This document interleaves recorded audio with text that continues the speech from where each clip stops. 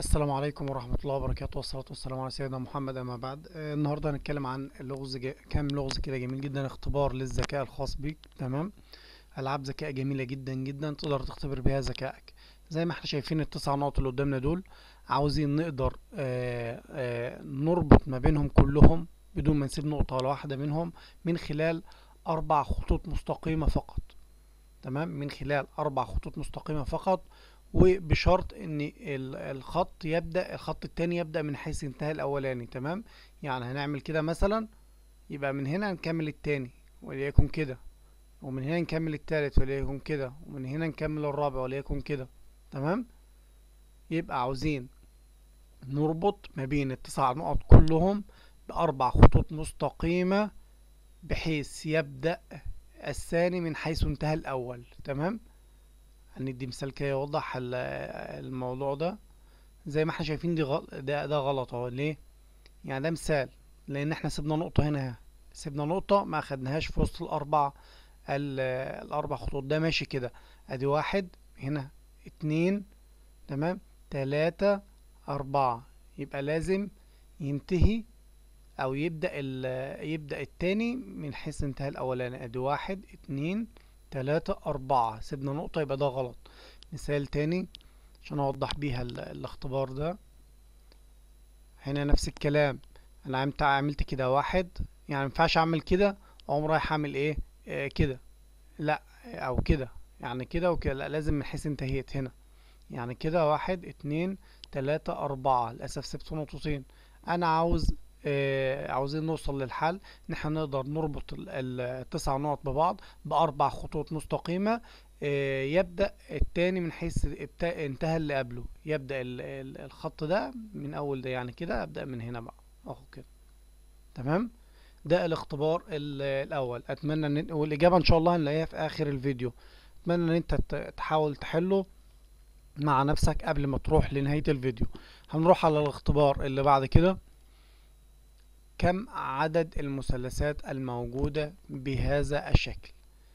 كم عدد المثلثات الموجودة بهذا الشكل؟ عاوزين عدد المثلثات الموجودة هتعد المثلثات الموجودة في الشكل ده وتقول لنا كام عددهم. طبعا الإجابة هنلاقيها برضو في آخر الفيديو إن شاء الله. هنروح بعد كده للعبة الذكاء اللي بعدها واختبار الذكاء اللي بعده. لغز جميل جدا. شايفين الشكل اللي قدامنا ده؟ عاوزين كل ضلع من الأضلاع يكون مجموعهم تسعة. إحنا سهلنا وحطينا خمسة هنا. يعني عايزين الضلع ده يكون تسعة. الضلع ده يكون تسعة من المثلث ده ومن المثلث السحري ده يكون إيه؟ ال ال الضلع ده تسعة. يبقى المطلوب منك ان انت تخلي ده تسعة مجموعهم تسعة. والضلع ده مجموعه تسعة والضلع ده مجموعه تسعة. بشرط بشرط. من واحد إلى آه ستة. يعني من واحد لستة تمام؟ ما تزيد من يعني وما نكررش الحروف. يعني ما ينفعش أحط هنا واحد وأجي أحط هنا واحد تاني في نفس الضلع تمام؟ من واحد لستة. هو كده كده آه، مش اتنين أربعة خمسة مش هينفع نكرر الأرقام لأن هما ست أرقام فقط.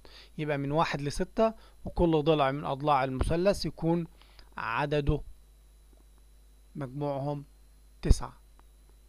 هنعد هنسيب هنسيب ثواني كده لغاية ما نبدأ نديكوا الحل. أتمنى ما تستعجلوش.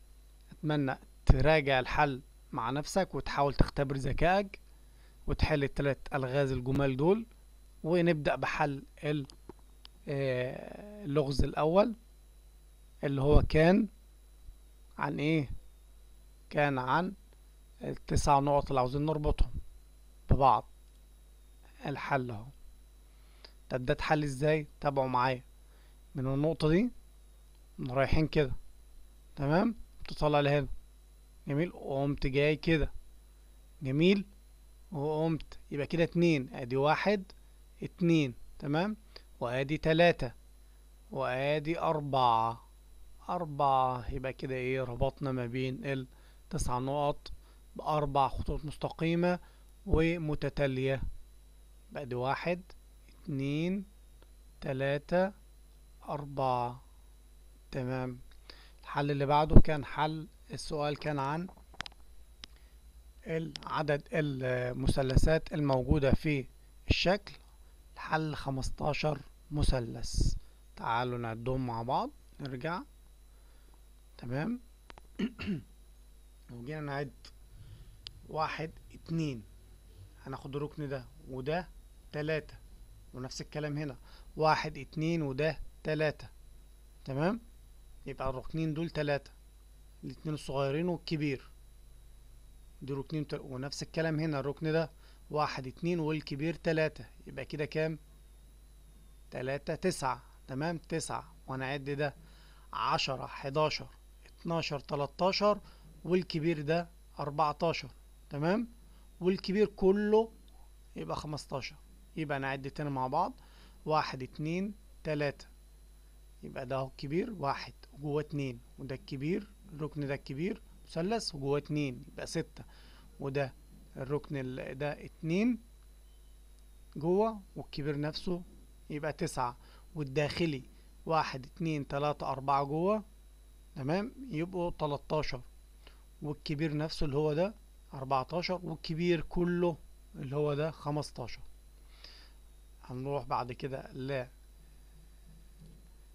اللغز الأخير لغز الأرقام ست أرقام ومجموعهم تسعة. هنحط هنا واحد تمام؟ هنحط هنا اتنين وهنحط هنا تلاتة. هيبقى هنا أربعة وخمسة. لو جينا جينا نجمع واحد وخمسة ستة وتلاتة تسعة. والضلع ده تلاتة وأربعة سبعة واتنين تسعة. والضلع ده اتنين وستة.